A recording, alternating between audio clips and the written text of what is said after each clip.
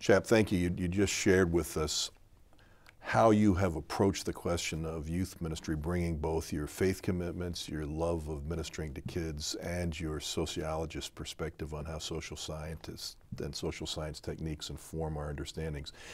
You've had an amazing body of work that has been so influential throughout, uh, throughout youth workers around the country and around the world. Can you just share with us some of the seminal moments where you thought a, a, a, body of work or something you wrote was a breakthrough for you in your understanding and what you want to share? Uh, seminal works. That's uh, I've got a I've got a lot of words on papers. Yeah, I'm not sure. Appreciate you saying the impact of the work. I began by, you would look at me and probably think this would be the case. I began by talking about sex and dating.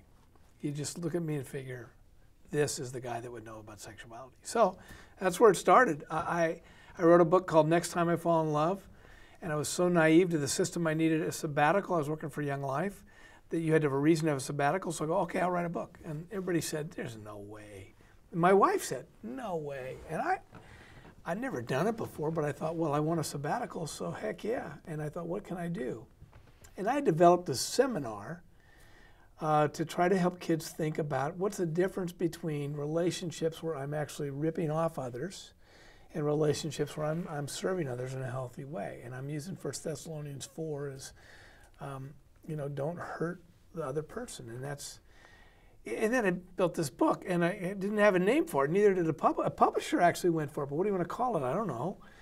Uh, and then Amy Grant was singing with Peter Cetera on the radio seminal moment for me. There's the title, Next Time I Fall in Love. And I did a few books out of that and a leader's guide and a video uh, just to help people to think about sexuality. And actually, ever since that time, I'm really grateful for what the Lord gave me to think about relationships. And I, and I frankly like talking about that. I want to bring it back, even though it's been over 20 years. Um, because I don't really like how we're not talking about sexuality with kids. It's not about sex, it's about our loneliness and longing for connection. That's probably the first. Then there were some programmatic books along the way that some were okay and helpful, and others were okay.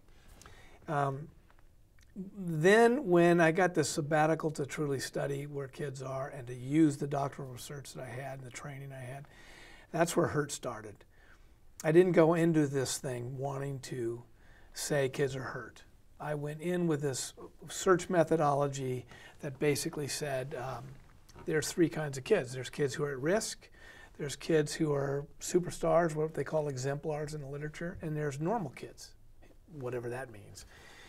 And after three weeks of being in there, before I was going to write the book, I had the contract though. I realized that's not the right category. Baker's going to hate me because the at risk kids are a little more honest actually about their pain than anybody else.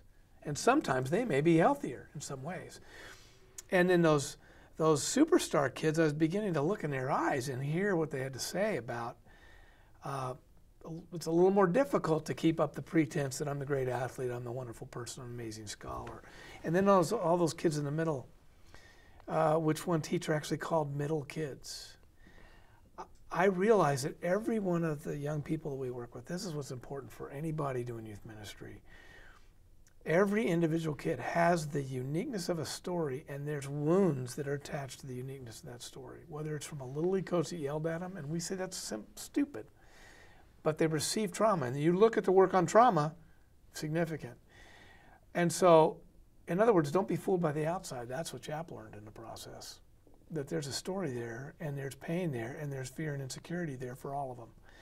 So all the stuff I've written really is mostly my own journey of learning as God has led me. It's been a privilege to write. I'm grateful that people read it. But really the key of my work is to try to continue to ask the question, what does it mean to truly care for kids in the name of the one who has come, Christ?